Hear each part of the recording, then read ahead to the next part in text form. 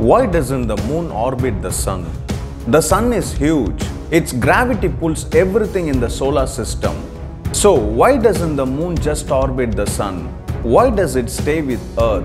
The sun's gravity does pull the moon very strongly, but the moon is also locked to Earth because of how close they are.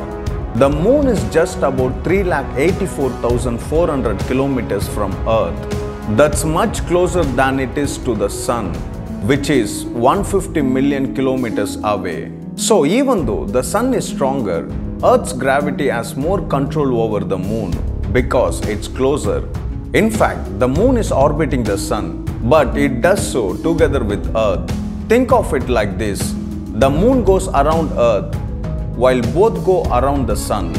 So, the moon does follow the sun, but only as Earth's partner. Space is all about distance and balance.